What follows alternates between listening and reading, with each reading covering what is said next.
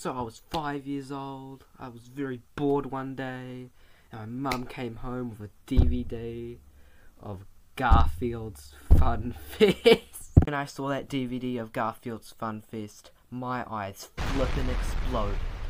I watched it over and over and over again. And today I decided to rewatch it because I'm an idiot. So the plot begins by showing a storybook, and the storybook opens up and it shows a frog, and how the frog is the funniest person in the world, and all the animals in the area do not understand how this frog is goddamn so funny. And then they finally thought to themselves, like, oh my god, I tried to click that, that, the, that the pond that the frog was drinking out of is the the why the reason why he's so goddamn oh, funny. So yeah, and then they all started drinking it, and they all became funny, and it was amazing. Yeah, and then it cuts to Garfield because he really wants his like food, of course, because you know he doesn't like Mondays and all that stuff. So yeah.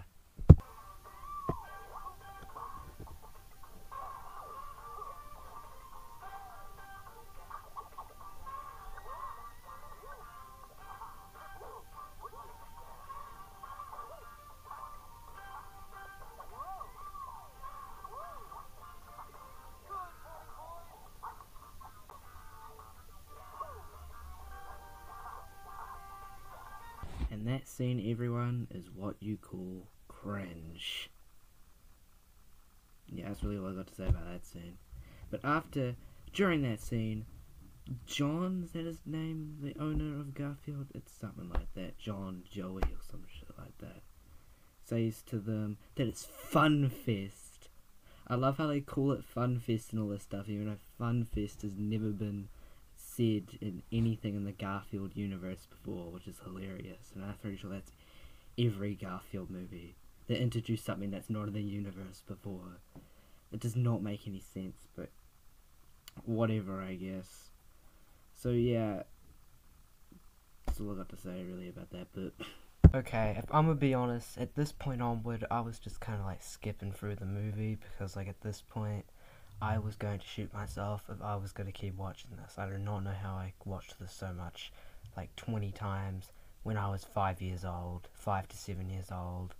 I generally don't know how, but how do I live through these things? And yeah, um, after all that, Garfield wants to do his like stand-up comedy.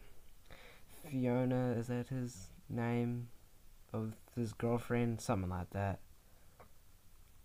Um, gets really angry at um him for not doing the dance with him and she decided to do it with someone else and he thought of the storybook that he needed to um get that funny water that made the frog laugh and the thing and then they got it.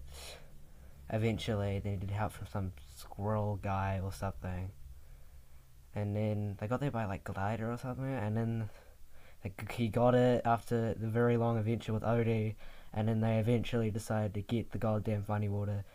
It made him funny, as it said it was going to. And then they got back, and then he said, "The water wasn't funny, Garfield. It didn't make you funny." You were the one that was funny. I, I think that's how the movie went. I don't know. And then he came back, and then the the real handsome guy. He doesn't look handsome. He looks ugly as fuck. Um, was proved to be normal. Was that his name? Norman. Normal. Yeah, it ended up being him disguised as him. So yeah, and then they do the funky little dance at the end, and that's the movie yeah, so I rate this movie like a 2.5 out of 10. This was probably very under average as what everyone else rated it, but I thought it was just the death of me. So yeah, please like and subscribe. I had to suffer through that. Please, bye.